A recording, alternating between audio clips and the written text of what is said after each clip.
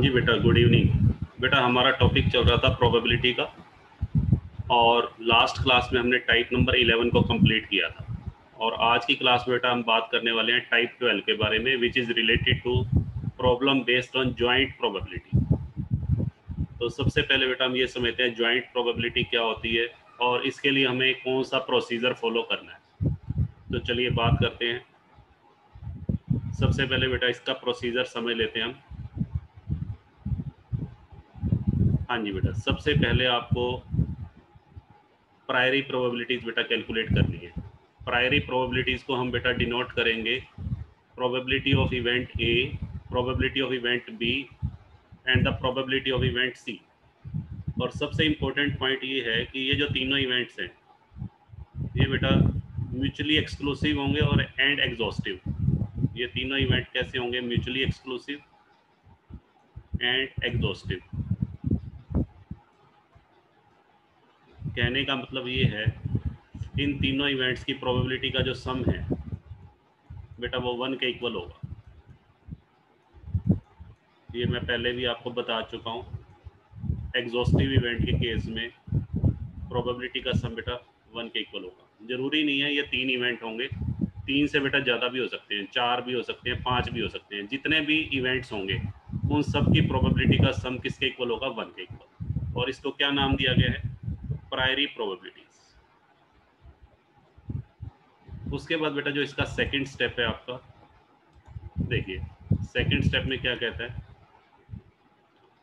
Calculate conditional probabilities उसके बाद बेटा एक कॉमन इवेंट होगा ई e.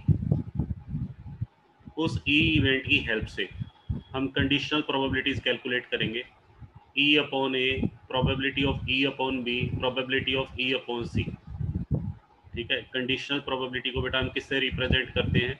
ई अपॉन ए कहने का मतलब probability of happening of event E after happening event A ऐसे ही probability of happening of event E after the happening of event B similarly the probability of happening of event E after the happening of event C ऐसे बेटा ये चलता रहेगा। उसके बाद आपको क्या करना है? ज्वाइंट प्रोबेबिलिटी बेटा कैलकुलेट करेंगे। ज्वाइंट प्रोबेबिलिटी निकालने का फॉर्मूला है priori multiplied by condition priori और बेटा कंडीशन को हम मल्टीप्लाई करेंगे तो हमारी ज्वाइंट प्रोबेबिलिटीज आ जाएँगी। और उसके बाद बेटा आपको क्या करना है, जो हमारी ज्वाइंट प्रोबेबिलिटीज होंगी, उसका हम क्या कर देंगे समेशन सम कर देंगे। और वो बेटा आपका आंसर होगा। इसको बेटा आप एक टेबल की हेल्प से भी कर सकते हैं। हाँ जी, देखिए। कैसे करना है। यहाँ पर बेटा पहले आप लिखेंगे। एक टेबल बना लीजिएगा। उससे बिल्कुल इजी हो जाएगा सब इवेंट यहाँ बेटा लिखेंगे event A B C D जितने भी बेटा इवेंट है। मैं तीन इवेंट एज्यूम करके चल रहा हूँ। तीन इवेंट है ए बी सी यहाँ बेटा उनकी प्रायरी प्रोबेबिलिटीज़ सबसे पहले आप प्रायरी प्रोबेबिलिटीज़ लिखेंगे। प्रायरी प्रोबेबिलिटी को बेटा किससे रिप्रेजेंट करते हैं? अभी मैंने बताया। Probability of event A probability of event B probability of event C और सबसे इम्पोर्टेंट बात ये है, इन सभी का जो सम है प्रायरी प्रोबेबिलिटी का वो वन के इक्वल होना चाहिए। उसके बाद बेटा निकालेंगे कंडीशनल कंडीशनल प्रोबेबिलिटीज़ कैसे निकालनी है आपको? कंडीशनल प्रोबेबिलिटी निकालने के लिए आपको एक इवेंट एज्यूम करना पड़ेगा ई e. तो ई अपॉन ए पहले कैलकुलेट करेंगे। Probability of E upon B and then probability of E upon C. ये बेटा हमारे कंडीशनल प्रोबेबिलिटीज आ जाएँगी। उसके बाद आपको एक कॉलम और बनाना है ज्वाइंट प्रोबेबिलिटी का।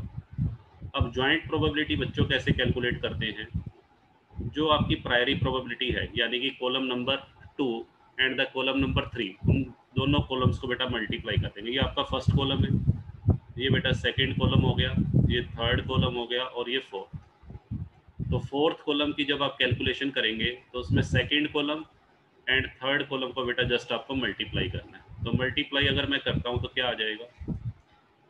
Probability of event A into probability of event E upon A फिर बेटा ये बनेगा probability of event B into probability of event E upon B then probability of event C into probability of E upon C. और फिर बेटा इसका सम कर देंगे।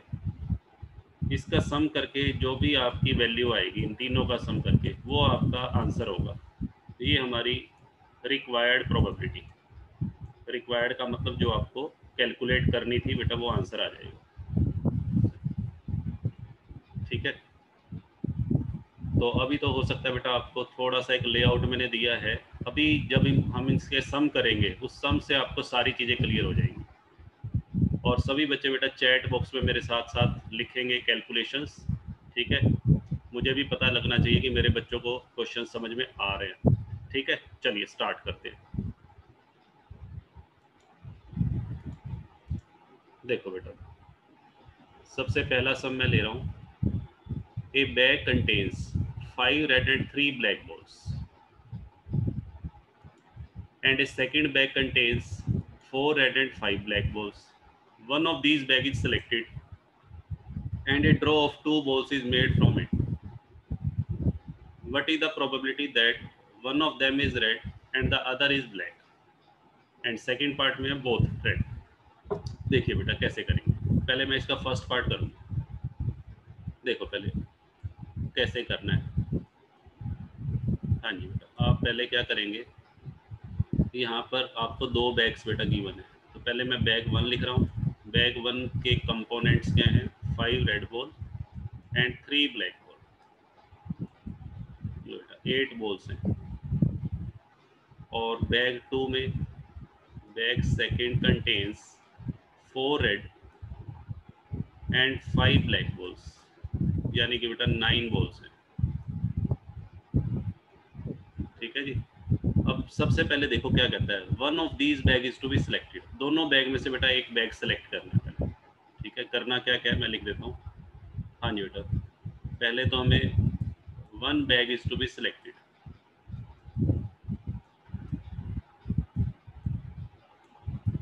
और फिर बेटा सिलेक्टेड बैग में से बॉल निकालनी है। कितनी बॉल्स निकालनी है? टू बॉल्स हाँ जी बेटा। From the selected bag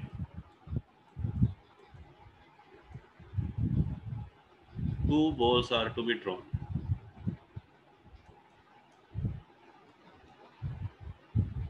हाँ जी बेटा। जो भी बैग सेलेक्ट होगा, उसमें से दो बॉल निकालनी है। और कौन कौन सी बॉल होनी चाहिए? One red and one black हाँ जी बेटा। फ़र्स्ट केस में ले रहा हूँ अभी। उसमें क्या लिखा हुआ है? एक बॉल तो बेटा रेड होनी चाहिए और एक black one red and other black ये बेटा ध्यान से पढ़ना है, कई बार ऐसे लिखा होगा first red and second black order mention कर देगा बट यहाँ ऑर्डर मेंशन नहीं किया हुआ जस्ट ये लिखा हुआ है one is red and other is black तो कैसे करेंगे? देखिए, इस क्वेश्चन को करने के लिए, पहले बेटा आपको क्या करना है? पहले तो देखो बैग का सिलेक्शन करना है तो पहले मैं लिख लेता हूँ हाँ जी बेटा probability of selection of first bag bag first के सिलेक्शन की बेटा प्रोबेबिलिटी निकाल लीजिए बैग वन के सिलेक्शन की प्रोबेबिलिटी को मैं किससे रिप्रेजेंट कर रहा हूँ? पी ए अब बेटा एक बात बताओ, मेरे सामने अगर दो बैग रखे हैं, इस बात की और दोनों बैग एक जैसे हैं, और इस बात की प्रोबेबिलिटी कि मैं बैग वन को उठाऊँगा या बैग टू को उठाऊँगा, दोनों के इक्वल इक्वल चांस होंगे। ठीक है? फिफ्टी फिफ्टी परसेंट चांस है। तो यहाँ पे दो बैग हैं।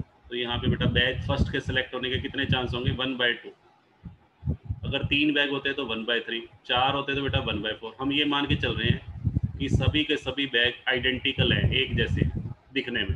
ऐसा नहीं है कि कोई किसी बैग के ऊपर डायमंड लगे हुए हैं।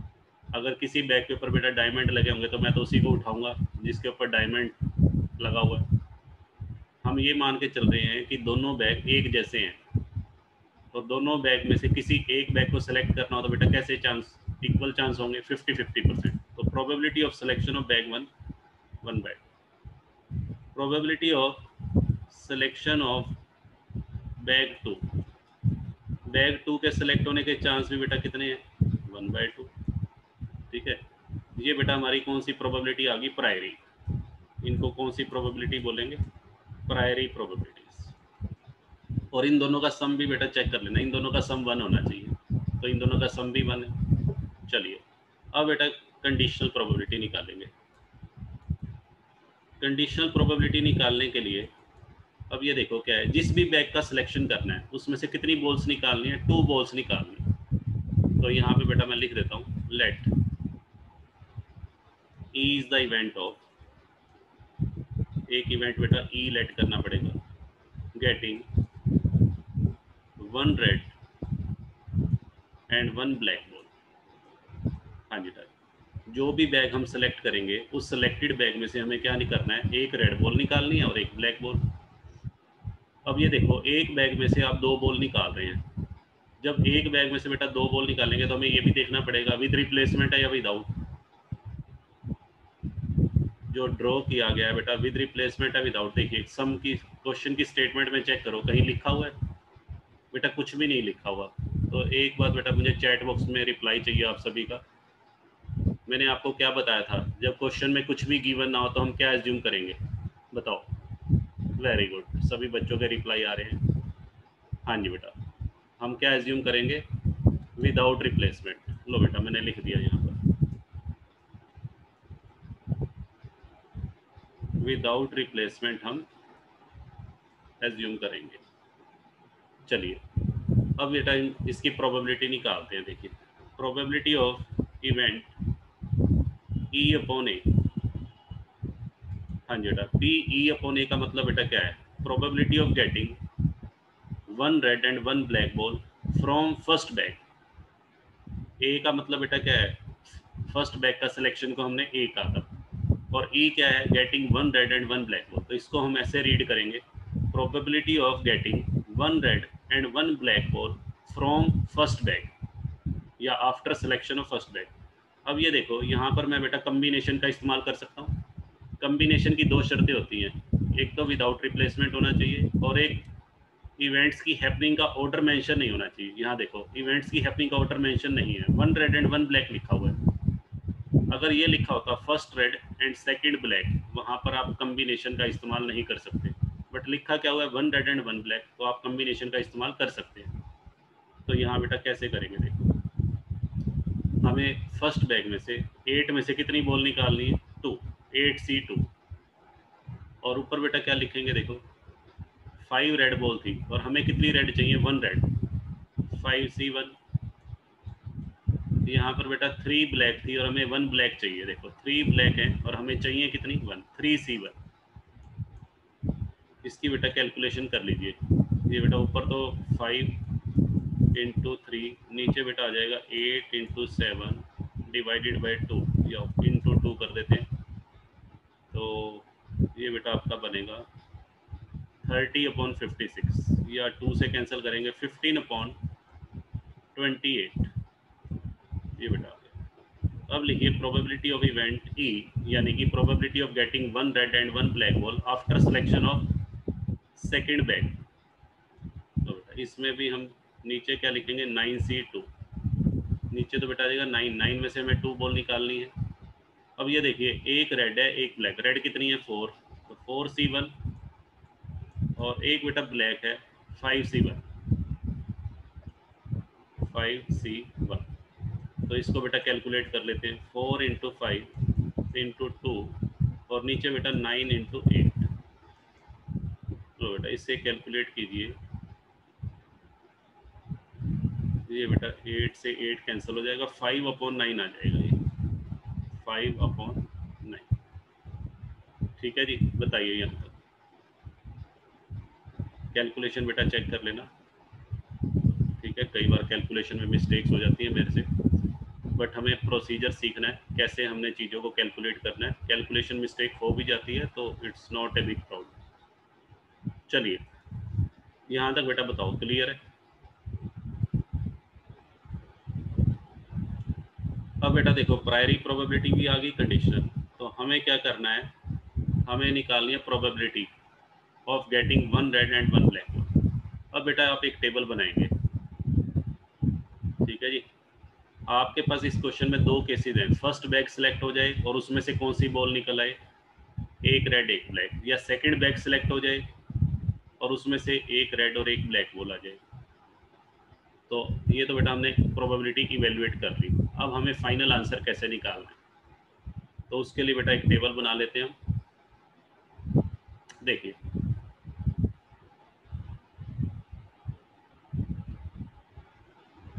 टेबल के लिए बेटा स्पेस बना ले पहले। या चलिए मैं इसे डिलीट कर रहा हूँ।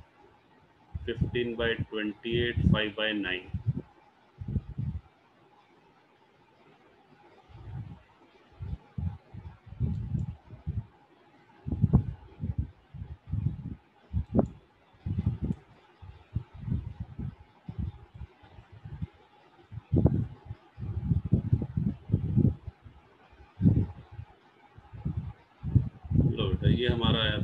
यहाँ मैंने लिख दिया इवेंट हाँ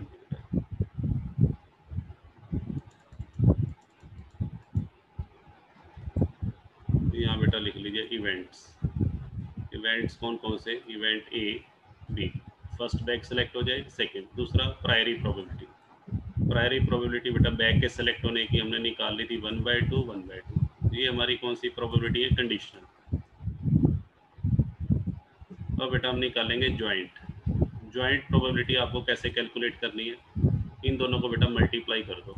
One by two into fifteen upon twenty eight और सेकेंड बेटा बनेगा one by two into five by nine तो इसको बेटा कैलकुलेट करेंगे फिफ्टीन अपॉन फिफ्टी सिक्स और ये बेटा बनेगा फाइव अपॉन एटीन इन दोनों को बेटा ऐड कर लो। इसका मतलब समझिए, इसका मतलब है फ़र्स्ट बैग सेलेक्ट हो जाए और फ़र्स्ट बैग में से एक रेड और एक ब्लैक बोला जाए। ठीक है? और दूसरा क्या था? फ़र्स्ट सेकंड बैग सेलेक्ट हो जाए। ये सेकंड बैग के सेलेक्ट होने की प्रोबेबिलिटी है। और उसमें से कौन सी बोल आ जाए? One red and one black ये one red and one black ball की प्रोबेबिलिटी ठीक है? ये दो केसेस हैपन हैपन हो सकते थे ए और बी अब इन दोनों का सम कर देंगे। तो वो हमारी रिक्वायर्ड प्रोबेबिलिटी आ जाएगी। रिक्वायर्ड प्रोबेबिलिटी का मतलब probability of getting one red and other black इन दोनों का बेटा सम करेंगे हम 15 अपॉन 56 प्लस 5 अपॉन 18 तो इसका बेटा एलसीएम वगैरह लेके जो भी आएगा वो आप कर लीजिएगा। एलसीएम आपको लेना आता है। लीजिए चलो कर लेते हैं इसको। सेवन तो ये बेटा कैंसिल हो जाएगा।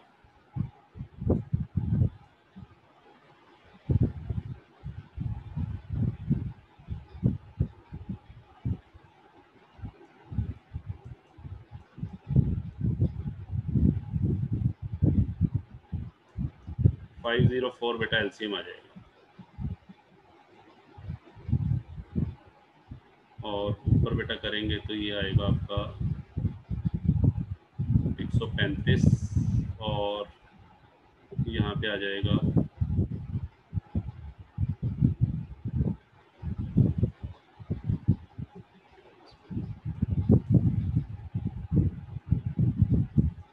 एक सौ चालीस। ये बेटा आपका बनेगा two seventy five upon five zero four ये हमारा आंसर हो जाएगा। ठीक है जी? ये बेटा आपका फाइनल आंसर हो गया। बताइए। अब बेटा इसी सम का मैं सेकंड पार्ट ले रहा हूँ। इसी सम के सेकंड पार्ट में क्या पूछा हुआ है? बोथ रेड बोर्ड्स देखिए, कैसे करेंगे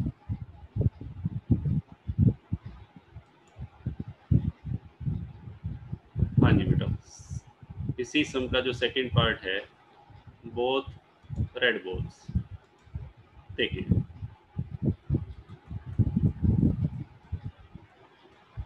पहले तो बेटा बैग सेलेक्ट करने हैं। बैग सेलेक्ट करना है तो पहले आप वही प्रायरी प्रोबेबिलिटी लिख लेते हैं। ठीक है जी? लो बेटा, मैं पहले सीधा टेबल ही बना रहा हूँ इसमें। बट पहले आपने प्रायरी और कंडीशनल प्रोबेबिलिटी कैलकुलेट करके फिर टेबल बनानी है हमेशा। तो यहाँ पे मैंने लिख दिया इवेंट इवेंट कौन सा? ए बी उसके बाद बेटा यहाँ पे लिखोगे प्रायरी प्रोबेबिलिटी प्रायरी प्रोबेबिलिटी का मतलब फ़र्स्ट बैग सेलेक्ट होने की प्रोबेबिलिटी वन बाई टू ये बेटा फ़र्स्ट बैग की है। ये सेकंड बैग सेलेक्ट होने की प्रोबेबिलिटी सेकंड बैग सेलेक्ट होने के चांसेस भी वन बाई टू फिर बेटा हम निकालेंगे कंडीशनल कंडीशनल का मतलब बोथ रेड बॉल अगर फ़र्स्ट बैग सेलेक्ट हो जाता है, और फ़र्स्ट बैग में से आपकी टोटल बॉल है एट और आपको निकालनी है दोनों की दोनों रेड तो कैसे बनेगा? ऊपर लिखेंगे फाइव सी टू और नीचे बेटा आएगा एट सी टू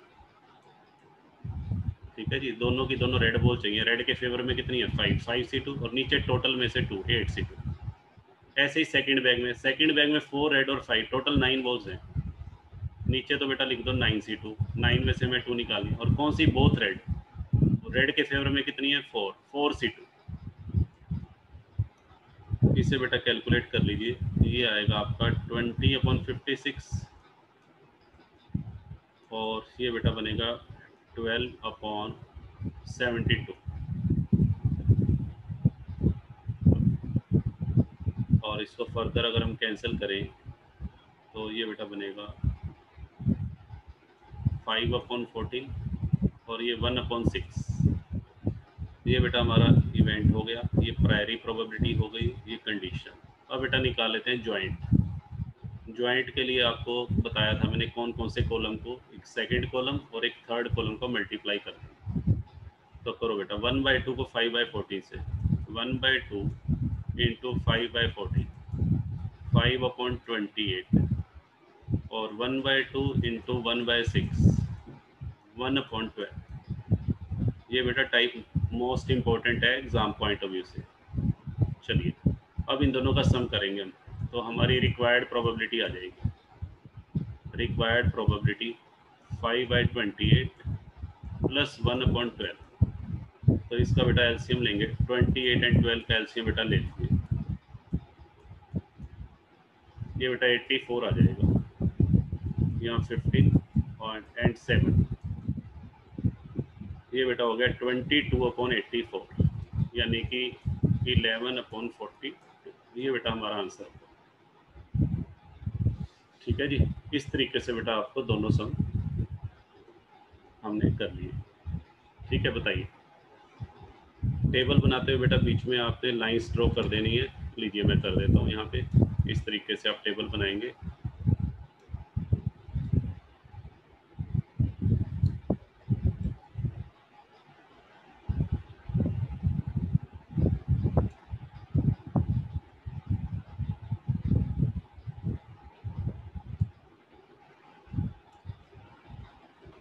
हाँ जी बेटा, बताइए यहाँ तक। क्लियर है? चलिए, अभी और बेटा प्रैक्टिस करेंगे।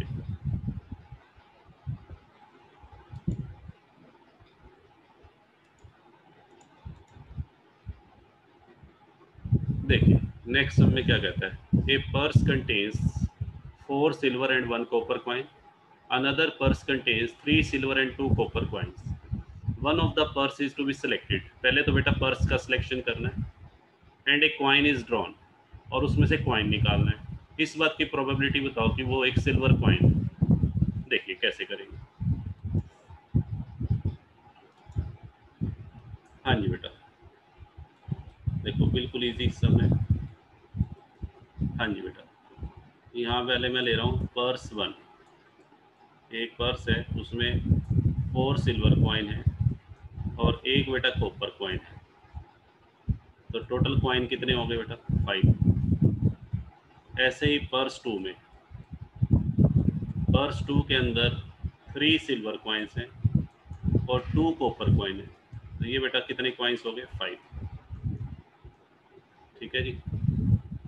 सबसे पहले देखो आपको क्या कहता है। One of the purse is to be selected पहले तो बेटा पर्स का सिलेक्शन कर। ठीक है? तो अब बेटा मैं एक टेबल बना लेता हूँ। पर्स के सिलेक्शन की प्रोबेबिलिटी को हम किससे रिप्रेजेंट करेंगे? देखिए, इस तरीके से लिखना है। फ़र्स्ट पर्स और सेकंड पर्स। ठीक है? और यहाँ बेटा इवेंट फ़र्स्ट पर्स के सिलेक्शन को मैंने किसका नाम दे दिया? इवेंट ए और सेकंड पर्स के सिलेक्शन को इवेंट बी अब इन दोनों इवेंट की प्रोबेबिलिटीज निकाल लेते हैं। उन प्रोबेबिलिटी को बेटा क्या बोलेंगे? प्रायरी प्रायरी प्रोबेबिलिटीज पहले प्रायरी प्रोबेबिलिटीज हम निकालेंगे। तो बेटा दो पर्स हैं। दो पर्स में से अगर मुझे एक पर्स सेलेक्ट करना हो तो उसके चांसेस कितने हैं? वन बाई टू और दूसरे पर्स के सिलेक्शन के भी one by two priori probability निकालने के बाद। अब बेटा आप निकालेंगे कंडीशन कंडीशनल प्रोबेबिलिटी बेटा कैसे निकालेंगे बताओ? कंडीशनल प्रोबेबिलिटी के लिए आपको एक इवेंट और दिया हुआ देखिए आगे। पर्स का सिलेक्शन तो हो गया। इसका सम हमेशा वन आना चाहिए, ये ध्यान रखना। प्रायरी प्रोबेबिलिटी का सम ऑलवेज वन होगा। आगे क्या कहता है? एक क्वाइन इज़ ड्रॉन फिर बेटा क्वाइन निकालना है और वो सिल्वर क्वाइन होना चाहिए। अब देखो, सबसे पहले इवेंट ए इवेंट ए में हमने क्या किया था? फ़र्स्ट पर्स का सिलेक्शन किया था, उसकी प्रोबेबिलिटी आई वन बाई अब ये देखो फ़र्स्ट पर्स के सिलेक्शन होने के बाद उसमें से सिल्वर क्वाइन आने के चांसेस कितने हैं? फ़र्स्ट पर्स में से बेटा सिल्वर क्वाइन कितने फेवर में है? फोर और टोटल क्वाइन है फाइव तो प्रोबेबिलिटी कितनी होगी बताओ? फोर अपॉन फाइव तो यहाँ बेटा लिख देंगे फोर अपॉन फाइव उससे पहले आप एक काम कर लीजिएगा, यहाँ लिख देना let is the event of is the event of getting silver coin तो ये जो मैंने निकाला है, ये पी ई अपॉन ए है। ठीक है, इसको क्या लिख सकते हैं पी ई अपॉन ए यानी कि probability of getting silver coin after selection of first purse ऐसे ही यहाँ लिखोगे probability of getting silver coin after selection of second purse ये बेटा है पी ए पर्स के सिलेक्शन की प्रोबेबिलिटी फ़र्स्ट पर्स के सिलेक्शन की या सेकंड पर्स के?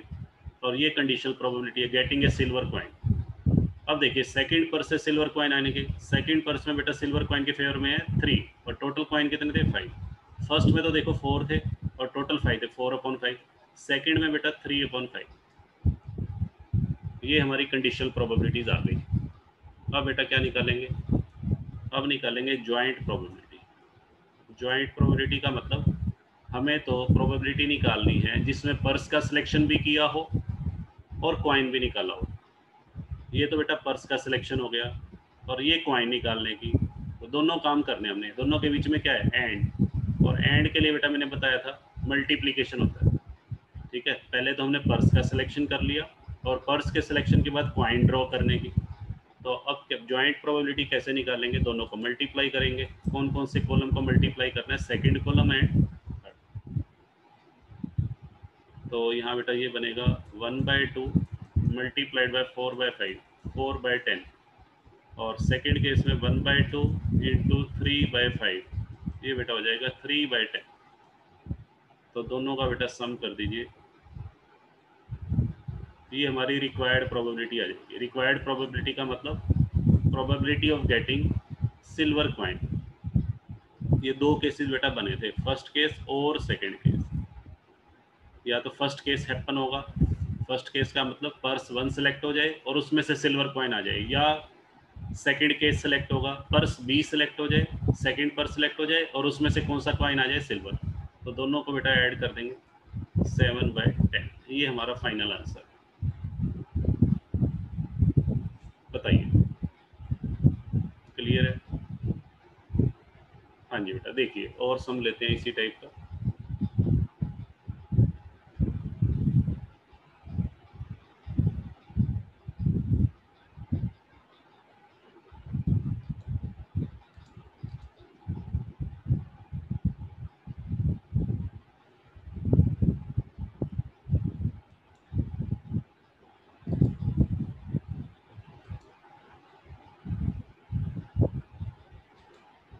हाँ जी बेटा, पढ़िए इस समय। इस समय बेटा क्या कहता है? ए जार कंटेन्स एक जार के अंदर फोर रेड बॉल्स हैं और फाइव ब्लू बॉल्स हैं। और एक सेकंड जार है जिसमें टू रेड बॉल्स हैं एंड थ्री ब्लू बॉल्स हैं।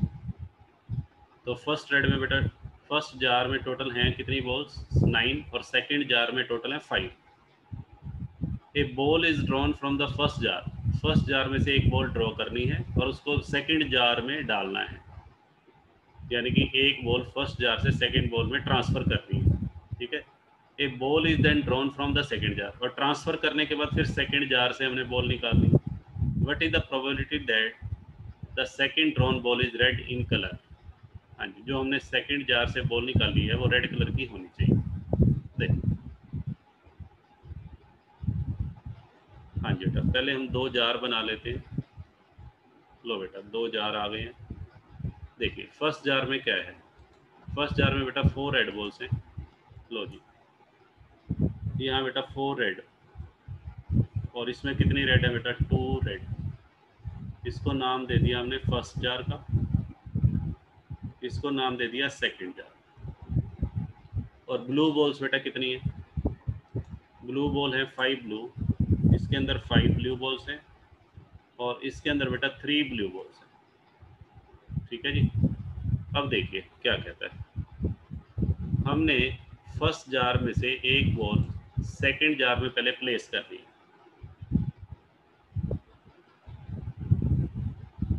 हाँ जी बेटा, एक बॉल ट्रांसफ़र कर दी फ़र्स्ट जार से सेकंड जार में। बट ये नहीं बताया हुआ कौन सी बॉल ट्रांसफ़र की गई। ठीक है? तो यहाँ पे बेटा दो केसेस हो सकते हैं, देखिए। हमें एक बॉल ट्रांसफ़र करनी है। One ball is to be transfer ठीक है जी? From jar one to jar two अब ये देखो, जो एक बॉल ट्रांसफ़र करनी है, उसके बारे में ये नहीं बताया हुआ कौन सी बॉल ट्रांसफ़र तो उसके दो केसेस हो सकते हैं। या तो बेटा फ़र्स्ट जार से सेकंड जार में जो बोल ट्रांसफ़र की गई होगी, वो या तो रेड कलर की होगी, या फिर ब्लू कलर की होगी, क्योंकि फ़र्स्ट जार में है ही दो कलर की ball four red five blue और एक बॉल हमें ट्रांसफ़र करनी है। तो आप यहाँ पे लिखोगे transferred ball may be red और ब्लू। हाँ जी बेटा, जो बॉल ट्रांसफ़र करनी है वो रेड भी हो सकती है और ब्लू भी हो सकती है। ठीक है जी? तो देखिए कैसे करेंगे। तो पहले मैं फ़र्स्ट केस ले लेता हूँ यहाँ पर। हाँ जी बेटा रेड बॉल अगर बॉल जो ट्रांसफ़र की गई है, वो रेड कलर की है। रेड कलर की बॉल को फ़र्स्ट बैग से हमें निकालना होगा। उसको बेटा मैंने इवेंट ए का नाम दे दिया।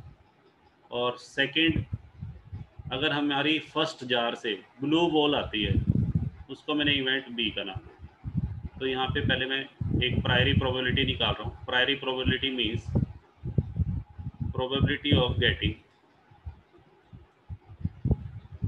red ball from first bag, first jar.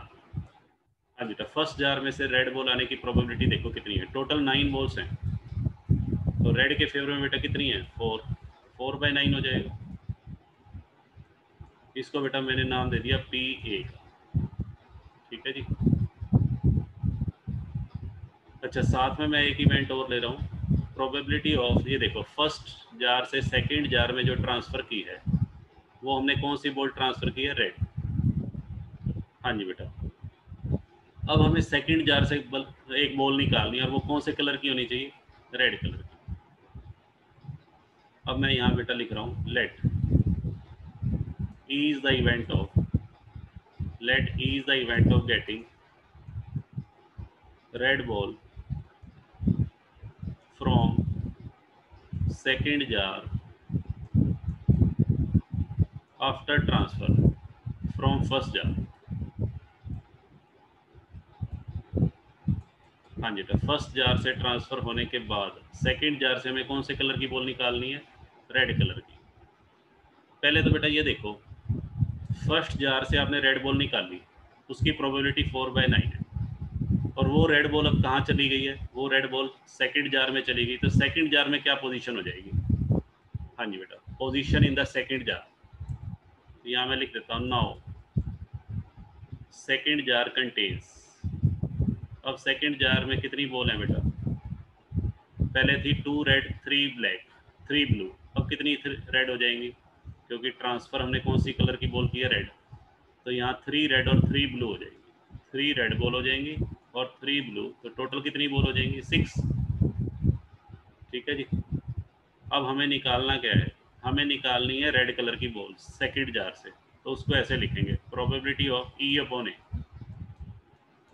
इसका मतलब क्या है? Probability of getting red ball from second jar after transferring one ball from first jar तो फ़र्स्ट जार से आपने रेड बॉल इसमें ट्रांसफ़र कर दी है। यहाँ थ्री रेड और थ्री ब्लू हो गई और हमें चाहिए कौन सी रेड कलर की? तो थ्री बाई सिक्स आ जाएगा। देखो रेड के फेवर में थ्री हैं और टोटल सिक्स हैं। तो थ्री बाई सिक्स ऐसे ही बेटा, अब सेकंड केस क्या बनेगा? अभी हमने ये एज्यूम किया था कि फ़र्स्ट जार से सेकंड जार में जो बॉल ट्रांसफ़र की गई है, वो रेड कलर की है। तो दूसरा ब्लू कलर की भी हो सकती है। अब बेटा, इस पे आ जाते हैं। अब मैं लिख रहा हूँ। Probability of getting blue ball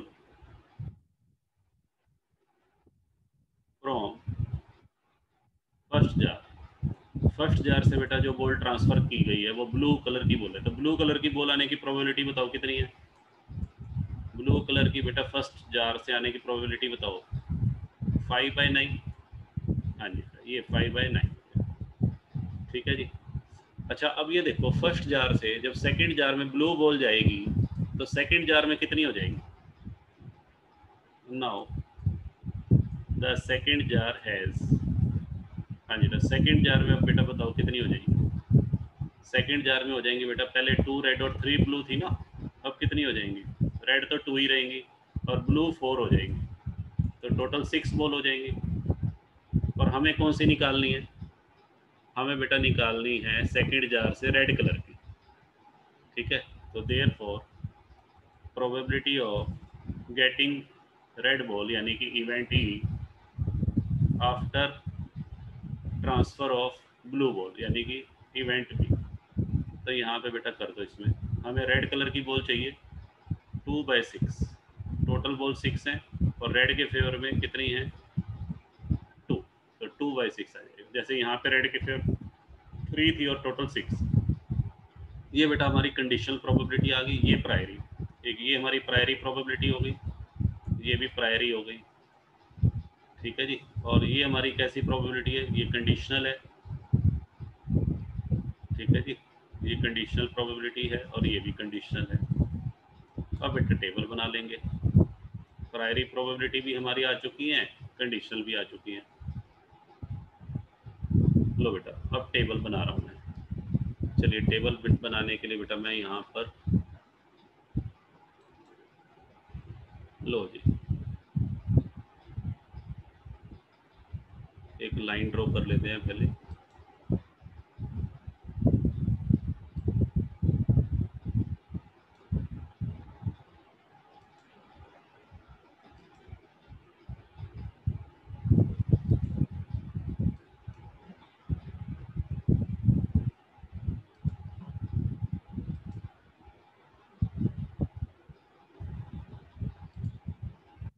लो बेटा देखो यहाँ पर मैं अब टेबल बना रहा हूँ तो इस टेबल में सबसे पहले नंबर पे आप क्या लिखेंगे?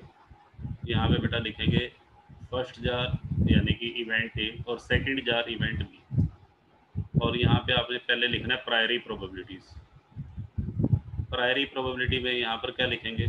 फोर बाय नाइन और यहाँ पर लिखेंगे थ्री बाय सिक्स सॉरी ये है फाइव बाय नाइन ये प्रायरी प्रोबेबिलिटी हो गई और यहाँ लिखो कंडीशनल कंडीशनल में हाँ जी बेटा, पहली कंडीशनल तो थी थ्री बाई सिक्स और दूसरी कंडीशनल कितनी है? टू बाई सिक्स अब निकाल लीजिए ज्वाइंट तो ज्वाइंट प्रोबेबिलिटी कैसे निकालेंगे? ये हो गया ट्वेल्व बाई फिफ्टी फोर और ये हो गया टेन बाई फिफ्टी फोर लो जी, इन दोनों का सम कर देंगे तो रिक्वायर्ड प्रोबेबिलिटी आ जाएगी। सम क्यों कर रहे हैं? सम बेटा तब करते हैं जब इवेंट्स के बीच में क्या होता है? और। तो यहाँ पे देखो दो ही, यहाँ पे मैंने बताया था, या तो फ़र्स्ट जार से सेकंड जार में बोल्ट ट्रांसफ़र की गई है, वो रेड कलर की भी हो सकती है या ब्लू कलर की। तो दोनों के बीच में क्या है? और है। ठीक है?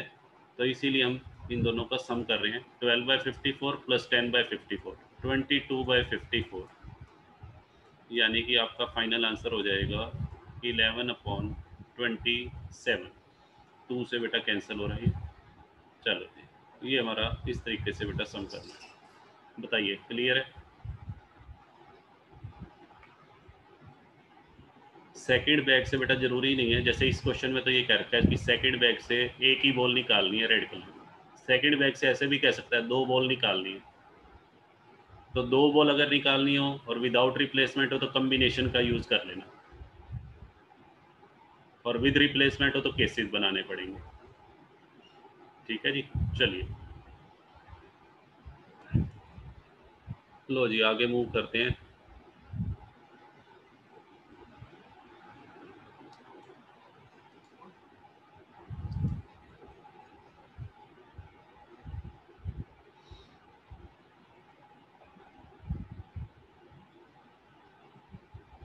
हाँ जी बेटा, देखिए नेक्स्ट सम ये है। The fifty two playing cards one card is lost हाँ जी बेटा टू प्लेइंग कार्ड्स हैं हमारे, और उसमें से बेटा एक पत्ता हमारा गुम हो गया।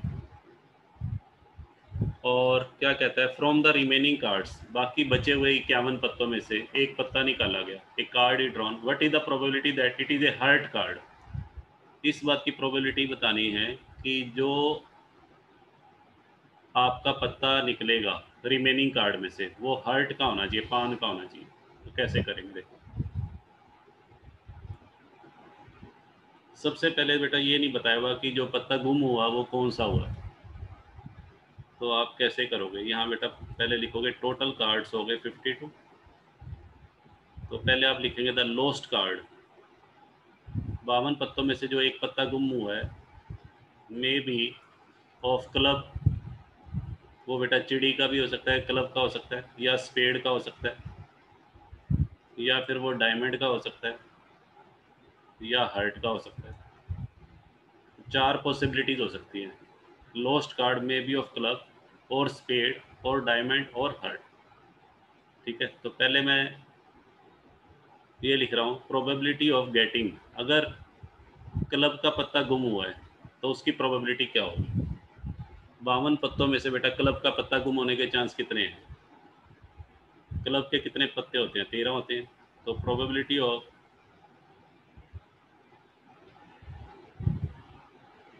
club card from हाँ जी बेटा, क्लब कार्ड के लॉस्ट होने की प्रोबेबिलिटी कितनी होगी बताओ? इसको मैंने लिख दिया P A is equal to club के बेटा होते हैं तेरह। थर्टीन बाई फिफ्टी टू तो वन बाई फोर आ जाएगा। ऐसे ही स्पेड। अगर आपके बावन पत्तों में से एक पत्ता गुम हुआ और वो स्पेड का गुम हो स्पेड का पत्ता लॉस्ट हो जाए तो उसकी प्रोबेबिलिटी क्या होगी? उसकी भी सेम होगी। क्योंकि स्पेड के भी थर्टीन कार्ड्स हैं। तो ये भी बेटा थर्टीन बाई फिफ्टी टू यानी कि वन बाई फोर ऐसे ही probability of losting diamond card अगर डायमंड पत्ता गुम हो जाए डायमंड का पत्ता गुम होने की प्रोबेबिलिटी ये भी वन बाय फोर और हार्ट का। हाँ जी बेटा, ये भी वन बाय फोर ये हमारी प्रायरी प्रोबेबिलिटीज आ गई। ठीक है जी, इन चारों का सम वन के इक्वल होना चाहिए। देखिए one by four plus one by four plus one by four plus one by four चारों का सम करेंगे फोर बाय फोर वन आ गए तो ये हमारी कौन सी प्रोबेबिलिटी होगी जो हमें टेबल में शो करनी है? प्रायरी प्रोबेबिलिटीज अब निकालते हैं कंडीशनल कंडीशनल प्रोबेबिलिटी निकालने के लिए एक इवेंट और दिया होगा आपको। क्या दिया हुआ है? आपसे प्रोबेबिलिटी किस चीज़ की पूछी हुई है? हर्ट कार्ड आने की। बावन पत्तों में से एक पत्ता गुम होने के बाद बचे हुए इक्यावन पत्तों में से जो पत्ता हमें निकालना है वो हर्ट का होना चाहिए। तो आप यहाँ लिखेंगे let is the event of E is the event of getting heart card after losing one card एक पत्ता गुम होने के बाद बचे हुए इक्यावन पत्तों में से हमें हर्ट कार्ड चाहिए। तो पहले इसके भी बेटा चार केस हो सकते हैं। सबसे पहले क्या बनेगा? Probability of E upon A E upon A का मतलब probability of getting the heart card after losing the club card A event क्या था? ए इवेंट में कौन सा पत्ता गुम हुआ था? क्लब का। अब हमें हर्ट का पत्ता निकालना है, चिड़ी का पत्ता गुम होने के बाद। तो क्लब का पत्ता गुम होने के बाद टोटल तो पत्ते ही इक्यावन रह गए थे? बट हर्ट के तो बेटा तेरह ही रहेंगे। क्योंकि आपका जो पत्ता गुम हुआ है, वो क्लब का हुआ है। तो इक्यावन पत्तों में हर्ट के कितने रहे? इक्यावन पत्तों में हर्ट के तो बेटा तेरह ही रहेंगे। तो थर्टीन बाई फिफ्टी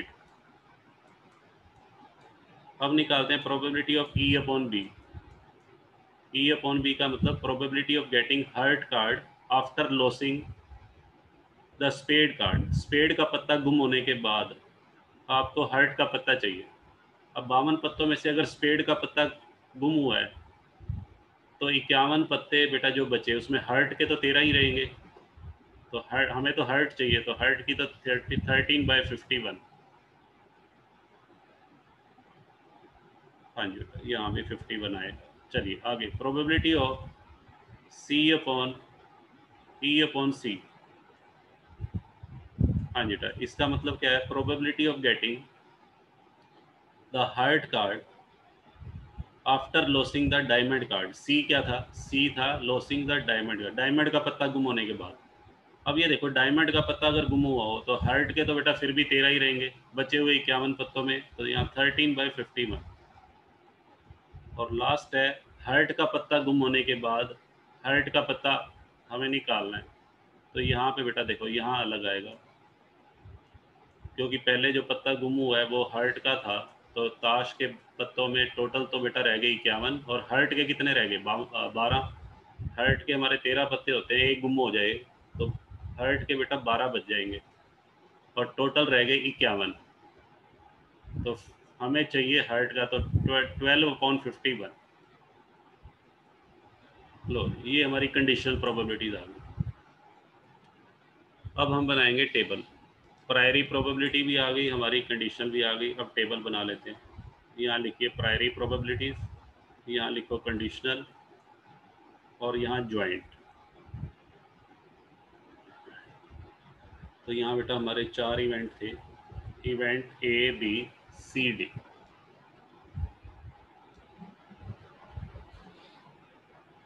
लो जी ए बी सी डी तो ए इवेंट की जो प्रोबेबिलिटी है, वो हमारी थी वन बाई फोर बी की भी बेटा वन बाई फोर सी की भी वन बाई फोर और डी की भी।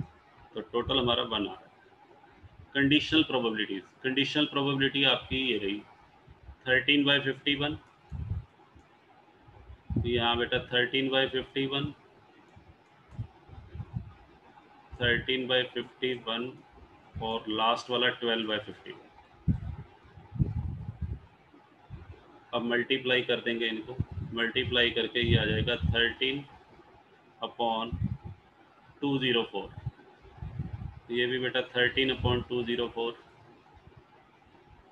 ये भी thirteen upon two zero four और लास्ट वाला है twelve point two zero four लो जी, इनका सभी का सम कर दीजिए।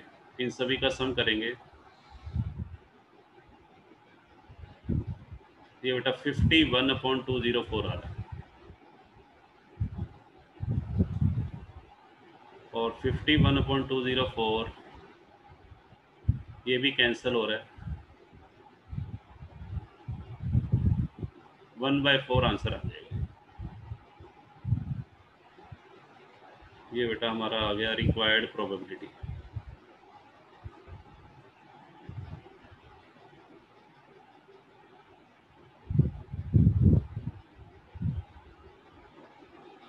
हाँ जी बेटा, बताओ क्लियर है? इस तरीके से आपको ये सम करने है। तो आज जो मैंने टाइप करवाई है very very important exam point of view से, और जितने भी सम थे वो सारे कवर अप कर लिए, ठीक है? तो आज की क्लास को बेटा यहीं ओवर करते हैं। Bye bye